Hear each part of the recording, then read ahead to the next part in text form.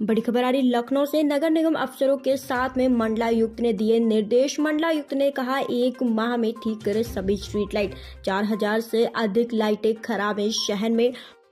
मंडलायुक्त doctor Roshan Jacob ने जर्जर सड़कों की मरम्मत के निर्देश दिए। फिर से बता दें, बड़ी खबर आ रही है लखनऊ से। नगर निगम अफसरों के साथ में मंडलायुक्त ने दिए निर्देश।